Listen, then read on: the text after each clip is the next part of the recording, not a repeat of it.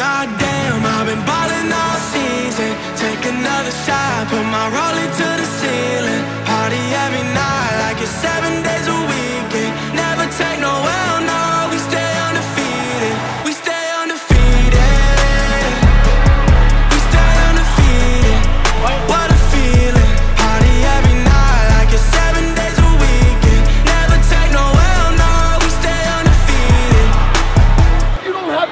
anything other than celebrate with your teammates and enjoy your time. You're doing a hell of a job. Now let's get ready for uh, an ass whooping for 24 minutes. Let's go.